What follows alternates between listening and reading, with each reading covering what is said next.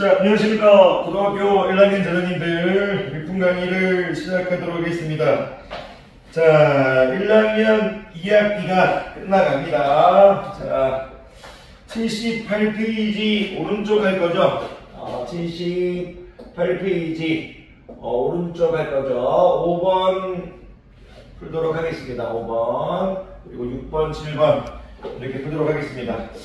제가 오늘 바빠가지고 78조까지 하고 내일 뭐 모레 이렇게 좀 하다 보면 다음 주면 1학년 과정이 끝날 것 같습니다. 1학년 과정 끝나면 어, 2학년 과정 수 1부터 시작하도록 하겠습니다. 자, 78페이지 5번 갈게요. 10개의 알파벳이 있는데 음, A, A, A, B, B, C, D, E, F, G 이렇게 돼 있네요. 어, 같은 게 똑같은 알파벳이 지금 3개, 2개 이렇게 있네요. 그런데 동시에 3개를 선택하는 경우 8개 중에 3개를 뽑는 경우인데 어, 같은 게 있으니까 여기 같은 게 있으니까 8 커비네이션 3를 로 해서 풀면 안 되겠죠. A가 전부 다 만약에 달라버리면 상관없었을 텐데 같아버리니까 음, 어쨌든 세 개를 뽑을 거랍니다. 세 개를 뽑을 겁니다. 동시에 세 개를 뽑는다 이렇게 되어 있습니다. 세 개를 뽑는다. 음, 경우의 수를 구하라. 경우의 수. 경우의 수. 이 동시에 세 개를 뽑는다. 음. 순서는 의미가 없다는 얘기를 지금 하고 있는 거네요. 순서는 의미가 없다. 경우의 수를 구하라. 이렇게 얘기하고 있네요. 그러면 분류를 해줘야겠네. 일단 항상 말씀드리지만 경우의 수 파트 또 그리고 어려운 문제는 다 천천히 분류하는 생각을 하셔야죠.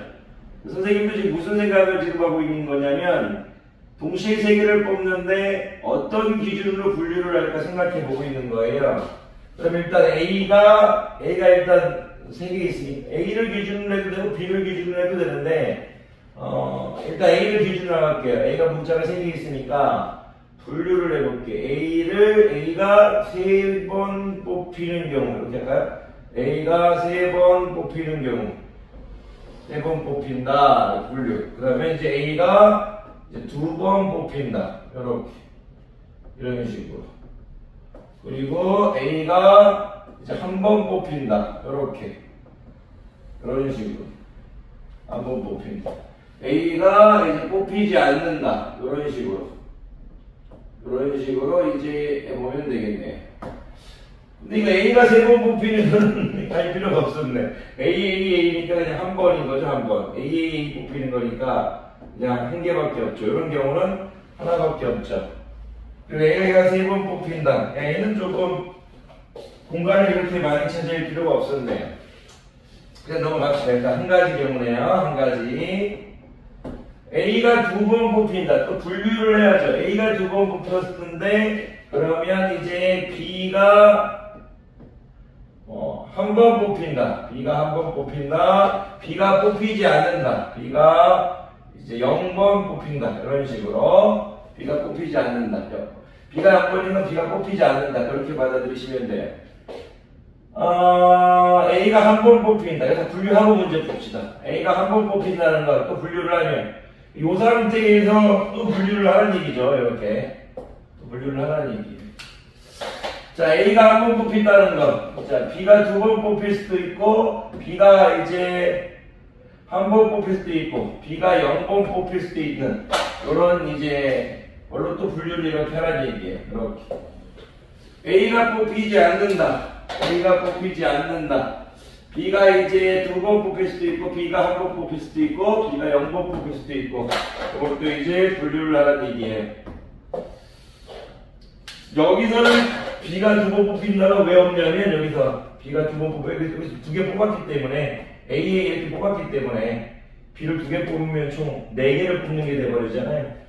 A가 하나 뽑힌 거죠. A가 뽑히지 않는 건 A가 없는 거죠. 없는 거예요. A가 세 번 뽑혔으니까 위에 적어주면 더 예뻐요. 한 가지 되겠죠. 자, A가 두 번 뽑혔을 때 B가 한 번 뽑히는 경우, 그 A, A, B죠. A, A, B. 순서가 의미가 없는 거니까 A도 지금 한 가지겠죠. 이렇게.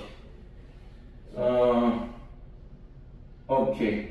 B가 0번 뽑혔다는 건, 음, A가 두 번 뽑히고 B가 0번 뽑혔다는 건, 요거 일단 같이 묶어놓을게요. 나머지에서, 어, 한 개를 뽑아야 될 거니까, or combination 1이 되겠네요. 어, A가 두 번 뽑히고 B가 뽑히지 않았으니까, 여기서 지금, 어, 나머지 한 개를 뽑아야죠. 왜 우리가 총 세 개를 뽑을 거니까, 두 개 뽑히고, 나머지 한 개를 뽑아야죠. 요 다섯 개 중에서. 이런 다섯 가지 되겠네. 그런 식으로 분류하면 됩니다. 자, A가 한 번 뽑힌다. B가 두 번 뽑혔다는 얘기는, 어, A, 이제 A가 한 번 뽑혔고, 어, B가 두 번 뽑혔다는 얘기는, 이것도 그냥 한 가지죠. 이렇게 해서 한 가지. 음. A가 한 번 뽑히고, B가 한 번 뽑혔다는 얘기는, 어, 나머지 다섯 개 중에서 또 한 개가 뽑혀야 되겠죠. 어커미네이션 5에서 한 개가 뽑혀야겠죠. 이거 다섯 가지, 이렇게. 음, 다섯 가지. 그리고 A가 한 번 뽑혔고 이제 B가 안 뽑혔다는 얘기는 A가 한 번 뽑혔고 B가 여기서 두 개 뽑아야죠. 어, combination 2가 되겠죠. 어, combination 2. 항상 이렇게 보고 있어요. 두 개 뽑고 이게 한 번 뽑고 해서 세 번 뽑고 한 번 뽑고 한 번 뽑고 한 번 뽑으면 세번 뽑히고 어, 뭐 몇 가지가 뽑혔는지를 빨리빨리 볼 연습을 해야 돼요. 음, 여기는 A가 한 번 뽑혔고 B가 두 번 뽑힌 거 확정이 한 가지. 여기는 combination 2는 이제 10이죠. 이렇게 10가지죠. 10가지 이런 식으로. 뭐 많지 않은 기술을 사용해가지고 좀 빨리 구하는 방법도 있거든요. 이거 한 번에 구할 수 있는 방법도 있어요. 이거는. 오 combination, 오 가기, 오 combination 2는 앞에서 배웠죠. A는. 어, your combination 2하고 똑같은 거니까 바로 두 개 합쳐가지고 15개가 나올 수 있는데 뭐 그것까지 필요 없을 것 같아서 넘어갑시다. 그렇게 하면 이게 A가 뽑히지 않는다는 B가 두 번 뽑혔으니까 나머지 다섯 개 중에서 한 개 뽑으면 될 거죠. 여기 다섯 개 중에서 한 개 뽑으면 될 거죠. A는 이 다섯 개 중에서 두 개 뽑히면 될 거죠. 다섯 개 중에서 두 개. A는 지금 뽑히지 않는다는 거니까요. 어, 다섯 개 중에 B가 0번 뽑힌다는 얘기니까 어, X하니까 또 이제 좀 이상해 보이긴 하는데 넘어가겠습니다. 이거 지금 뽑히지 않고 뽑히지 않는 거니까 나머지 다섯 개 중에 세 개를 뽑아야겠죠. 그 다섯 개 중에 세 개를 뽑아야겠죠. 이거 분류하는 작업이지 이거 능숙해지면 어렵지 않습니다. 이거. 처음에는 근데 어려워요. 이거 5 되게. 근데 좀 이걸 좀 기술 써서 계산할까요? 요거 같은 경우는 바로 이제 어, 유커미네이션 2로 계산해 버리면 되죠. 유커미네이션 2로 계산해 버리면 15가지가 되겠네요. 15가지. A는 다시 이제 recombination 2와 똑같으니까 recombination 2하고 똑같으니까 10가지인 거죠. 그러면 양이 지금 이제 25가지 이렇게 되겠네요. 25가지. A는 지금 16가지 이렇게 되겠네요. N은 지금 6가지 이렇게 되겠네요. 다 더하면 어, 다 더하면 아, 여기 한 가지를 또 뺄 뻔했네요. 여기 한 가지가 있네. 그럼 1 더하기 6은 7, 7 더하기 16은 23, 23에서 25 더하면 어, 48가지 되겠네요. 이렇게. 분류하시면 된다는 거. 항상 분류를 잘하는 것이 어, 여러분들이 해야 될 겁니다.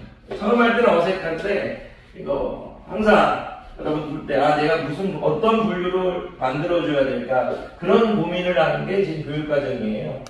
공식을 쓰는 것보다는 공식은 당연히 뭐 써야겠지만 그런데 이제 일단 공식보다 더 중요한 건 뭐냐면 어떤 분류를 해나갈까? 그걸 자기 스스로 이제 키워 나가야 돼.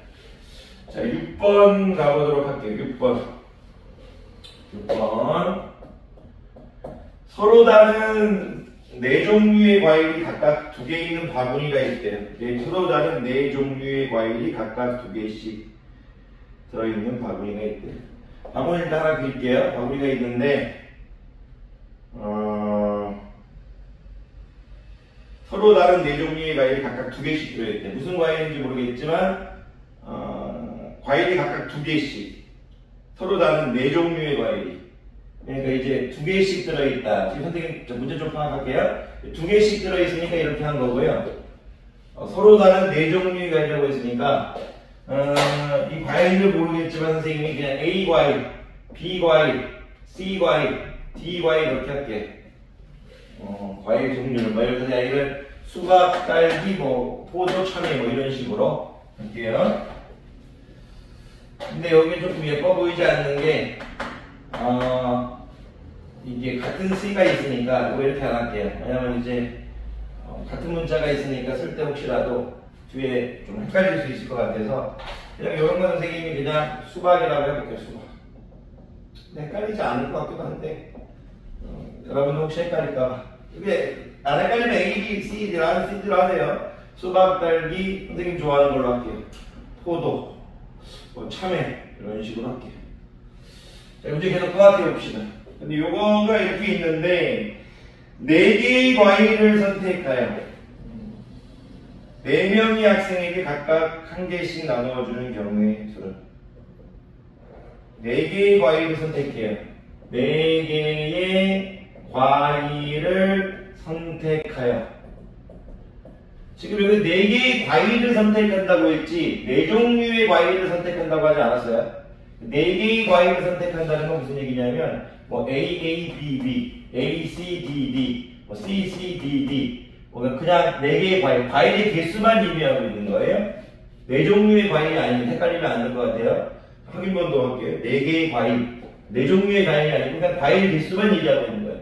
과일 네 개를 선택하여 어, 네 개의 과일을 선택하여 과일의 종류를 얘기하고 있는 게 아니고 과일의 개수만 얘기하고 있는 거예요. 네 개의 과일을 선택하여 어, 네 명의 학생에게 나눠준다 이거죠. 분배하겠다 이거예요. 네 명의 학생에게 학생에게 이제 학생에게 각각 한 개씩 나누어주는 경우의 수는 각각 이제 한 개씩 한 개씩 나누어 이제 주는 이제 경우의 수 이렇게 지금 물어보고 있네요. 뭐 이것도 분류해야겠네요. 네 개의 과일을 네 명의 학생에게 나눠줄 거니까 어, 떤 분류를 해야 될까? 음, 과일의 종류를 몇 개 사용하는지 과일의 종류로 갈게요. 네 종류의 과일이 주어져 있으니까 네 종류의 과일이 주어져 있으니까 분배를 하는 방법. 학생들에게 하나씩 줄 건데 과일의 종류를 네 가지 다 사용하는 경우 네 가지 사용. 오케이. 이게 낫겠네. 과일의 종류를 이제 세 가지 사용 이런 식으로 분류해야겠네. 그리고 과일의 종류를 두 가지 사용. 어, 과일의 종류를 한 가지 사용할 수는 없죠. 왜냐면 네 명인데 사람 수가 아까요? 네 명, 네 명을 기영, 니은, 디귿, 리을이라고 할까요? 어, 네 명의 학생, 기영, 니은, 디귿, 리을에게 하나씩 주려면 한 개씩 이렇게 주려면 한 개씩, 한 개씩, 이렇게 한 개씩, 한 개씩 주려면 과일이 네 개가 필요한데 어, 과일의 종류를 한 가지만 사용하게 되면 개수가 두 개밖에 없으니까 안 되죠. 요거에서 하는 얘기네. 과일의 종류를 네 가지 사용한다는 얘기는 어, 네 가지 중 사시포 처음에 이제 어, 한 가지 사시포라는 내용을 갖고 시작하는 얘기고 과일의 종류를 세 가지 사용한다는 건 수박, 딸기, 포도, 참외 중에 세 가지를 선택한다니까 사치삼이라는 이제 분류를 하고 있는 거고 과일의 종류를 두 가지 사용한다는 걸 사커미네이션을 지금 이용하겠다 이거죠.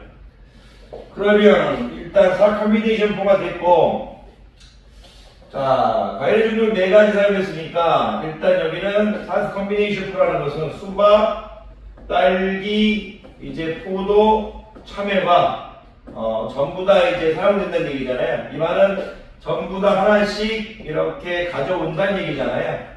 야이를 기영, 니은, 디귿, 리을 네 명의 사람에게 이제 줄 거니까 어, 일렬로 나오는 경우는 똑같죠. A가 넣을 수 있는 게 네 가지, 세 가지, 두 가지, 한 가지니까. 여기 올 수 있는 게 A, B, C, D. 그 각각 이동마다 세 가지, 두 가지, 한 가지 되는 거니까 이제 4팩 이렇게 되겠네. 그러면 과일 종류 네 가지 사용하는 사시포는 1인, 한 가지밖에 없는 거예요. 1이니까 의미가 없고 답이 4팩 되겠네요, 4팩. 그래서 얘는 지금 24가지가 이렇게 이쁘게 나오겠네요. 자, 과일의 종류는 세 가지 사용하는 건 4커뮤니케이션 3이 했고요. 그러면 뭐, 이 4커뮤니케이션 3의 한 가지 예인, 어, 뭐, 수박, 딸기, 포도를 한번 가져와 볼까요? 수박, 딸기, 뭐, 포도. 요 지금 4커뮤니케이션 3이라는 게 지금 이제 4, 네 가지잖아요. 이네 가지 중에 한 가지 예인, 수박, 딸기, 포도를 가져와 볼게요. 그런 다음에 내일을 우리가 항상 기억, 니은, 디귿, 리을 네 명의 사람에게 줘야 될 건데 어, 곱하기 3을 해줘야겠네. 무슨 얘기냐면 지금 어, 어, 4 커뮤니케이션 3에다가 곱하기 이제 3 커뮤니케이션 1을 해줘야겠어요. 왜 그러냐면 수박, 딸기, 포도인데 우리가 어쨌든 과일의 개수는 4개나 4개의 과일인 거잖아요. 그러니까 지금 이런 식 야이를 두개 할지 또는 야이를 두 개 할지 두 개 할지 또는 야이를 두 개 할지 요 한 중에 또 선택해야 되잖아요. 수박을 두 개 할지 딸기를 두 개 할지 포도를 두 개 할지 그런 것들을 생각해야 될 거 아니에요. 기억님 니을 뒤에는 밑에 적을게요. 그러니까 사 커뮤니케이션 3, 이 전제 조건에다가 어, 느 이제 수박 딸기 포도 중에서 어, 느 녀석을 어, 과일 두 개로 할지 선택해야겠네요. 그러면 그게 이제 3C1 되겠네요. 오케이. 그러고 그러면 몇 가지가 지금 대하고 어, 그이 3C1에 어, 하나 특정 하나, 뭐얘 하나 가져올까요? 얘 하나 가져올게. 어, 근데 그 각각의 경우마다 양해를 이네 명에게 내려주는 경우가 있으니까요. 그러면 다시 네명 중에 두 명을 선택해야겠네요. 왜냐하면 이 네 명 중에 두 명을 선택하는 이유는 요 CC 네 명 중에 어떻게 두 명을 선택하게 되면 어, 선택하게 되면 그 녀석들에게 이제 CC 이렇게 주고 나머지 녀석들이 뭐 A, B, B 이렇게 가져가면 되는 거잖아요. 그러니까 이 사스이트는 뭐냐면 4명 중에 2명을 선택해 주는 거예요. 왜 2명을 선택해 주느냐? 어, 이 동일한 과일을 줄 녀석들이죠. 동일한 과일 녀석을 줄 녀석들. 사스이트. 그리고 그 나머지 녀석들이 이제 A, B, B, A 이렇게 나눠서 들어가잖아요. 그래서 2팩 해줘야겠네. 그렇게. 2팩 곱하기 2. 이렇게 해주면 되겠네요. 요거 계산하면 되겠네요. 그러니까 이제 항상 이렇게 이런 식에서 천천히 하면서 해야 돼요. 이거 특별한 거 없어요. 자기가 스스로 이렇게 적응하면서 하는 거예요.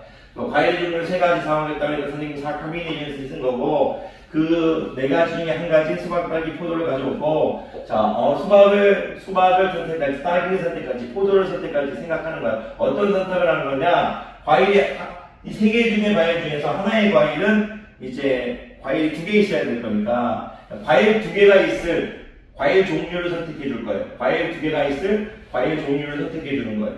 이 아이는 이제 네, 종, 네, 과일이 네 개의 종류 중에서 과일 세 개의 종류를 선택하는 거고, 이 아이는 과일 세 개의 종류에서 두 개의 과일이 있을 과일을 선택해 주는 거예요.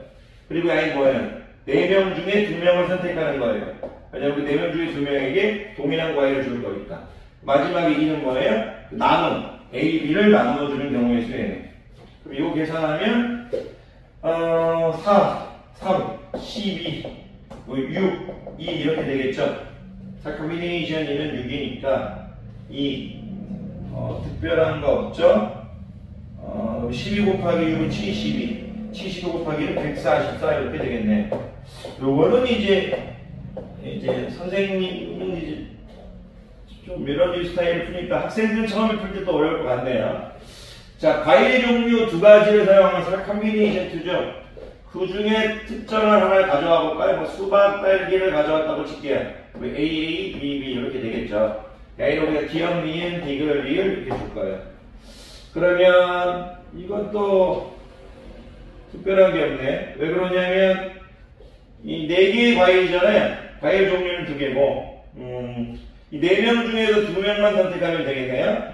어, 네 명 중에서 아무거나 두 명만 선택하면 돼요. 네 명 중에서 두 명만. 왜? 네 명 중에 두 명을 선택한 다음에 뭐 AA를 주면 되겠죠. 이렇게 AA를 주면 특정 주면 나머지 건 자동 결정이죠. 나머지 건 자동 결정이에요. 그러니까 특정한 과일, 이 수박을, 특정한 과일 수박을, 어, 두 명이 줄 거라고 해서 나머지는 자동 결정이니까 뒤에 거할 필요 없어요. 바로 그냥 4C2 곱하기 4C2 이렇게 해버리면 끝나겠네요. 이런 얘기죠. 이 사, 앞에 있는 4C2는, 어, 과일 종류를 두 가지 사용하는 거. 수박, 딸기, 어, 뭐, 이런 거죠. 수박, 딸기, 수박, 포도, 수박, 참외, 뭐, 딸기, 포도, 딸기, 참외, 포도, 참외 이런 식으로 해서 여섯 개인 거고, 그 특정한 여섯 개 중에 하나를 가져온 거잖아요. 그런데 이제 선생님은 야이를 먼저 나눠주겠다 이거예요. 두 개, 기영, 니은, 디글, 리을에게. 그 두 명을 선택해달라 이거예요. 나머지 공은 자는 결정이죠. 그러면 40은 6이니까 6 곱하기 6은 36이 되겠네. 계산하 180. 180에서 24면 204가 되겠네. 200 그렇지. 자, 이 3번 되겠네요. 3번. 3번 되겠습니다.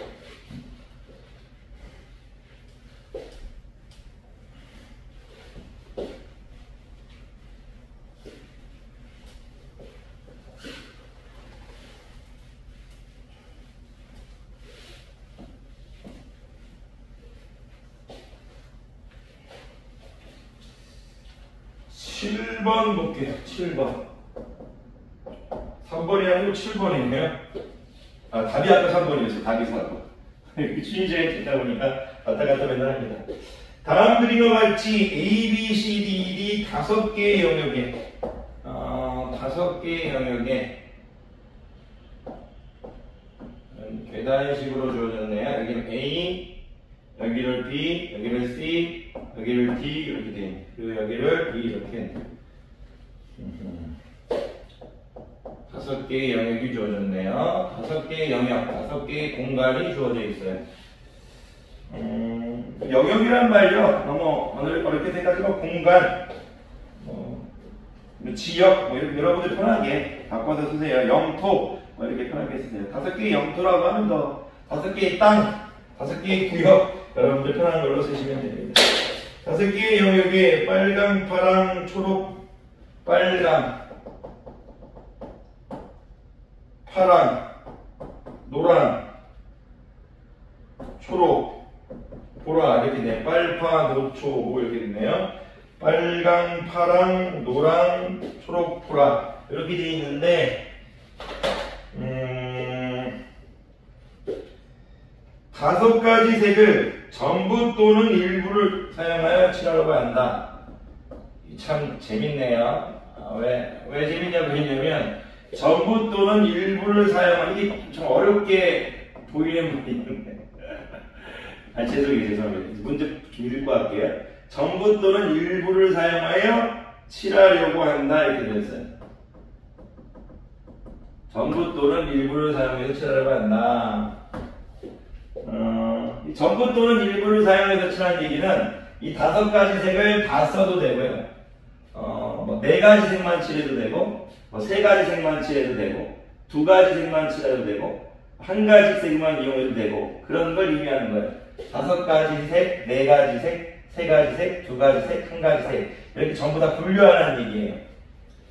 그러면 이런 게 그냥 분류하진 않겠죠. 이런, 이런 조건만 있어 버리면, 뭐 다섯 가지 색을 쓰는 경우는 5팩에서 120가지, 네 가지 경우 색을 쓰는 경우는 이제 그에 맞게 해야겠죠. 네 가지 색을 쓰는 경우 그에 맞게 해야겠죠. 음, 이 조건만으로는 문제가 이제 풀기가 더 복잡할 것 같아요. 계속 좀 읽어볼게요. 전부 또는 일부를 사용해서 칠하려고 한다. 아, 미, 죄송합니다. 인접한 영역, 죄송해요. 자, 인접한 영역은, 여기 하나 조건이 되어 있네. 인접한 영역은 서로 다른 색으로 칠할 때, 어, 서로 다른 색으로 칠할 때, 이웃 나라는 다른, 서로 다른 칠해야 돼요. 아, 바로 옆에 붙어 있으면 일반적으로 다른 색으로 칠해야죠. 나라가 다른데. 한국하고 일본을 같은 색으로 칠해버리면 같은 영토가 될 거니까 인접한 영역은 서로 다른 색으로 칠한다 이거예요. 서로 다른 색으로 칠한다. 칠한다 이렇게 돼 있어요.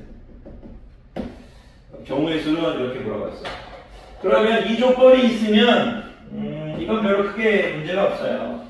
왜냐면 이거를 만약에 전부 또는 일부를 사용해서 칠한다고 했을 때, 뭐 색을 다섯 가지 사용하는 경우, 색을 네 가지 사용하는 경우, 뭐 색을 뭐 세 가지 사용하는 경우, 인접한 영역은 서로 다른 색으로 칠한다. 색을 두 가지 사용하는 경우 두 가지를 사용해서는 어, 칠할 수 없겠네요. 왜냐면 두 가지를 색으로 사용해 버린다는 건 뭐 빨강이나 파랑으로 칠한다고 치면 뭐 어떤 공간이 다섯 개가 있는데 어, 뭐 빨간색, 파란색 이렇게 두 가지 색으로만 칠하려고 하면 적어도 어, 빨, 파, 빨에서 한 가지 색을 이제 세 번을 써야 되는데 한 가지 색을 세 번 쓸 수가 없어요.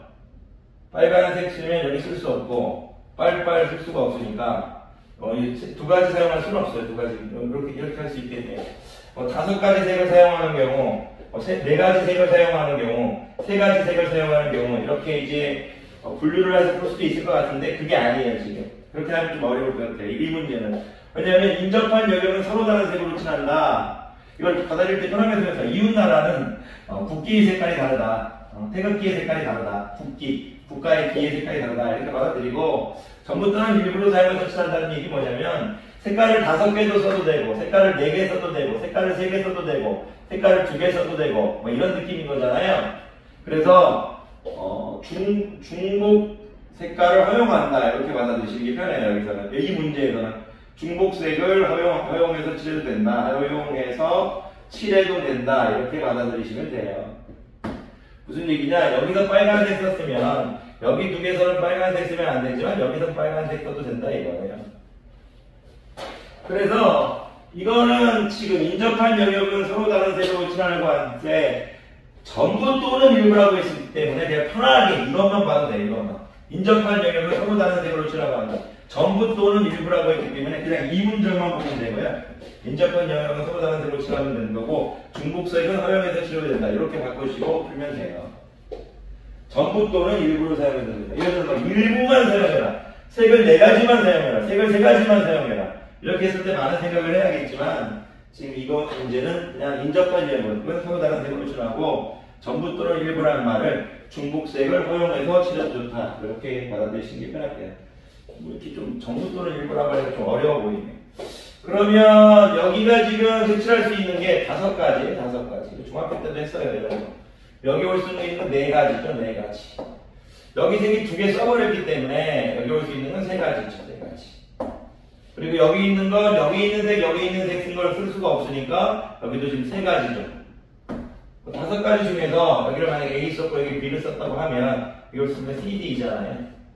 여기 만약에 E가 오고 B가 왔다고 하면 여기 A, B, C 올 수 있는 건세 가지죠. 여기는 중요하지 않아요. 여기 있는 색깔을 여기는 언제든지 쓸 수 있으니까. 중복 가능하니까. 그리고 여기도 이제 세 가지죠.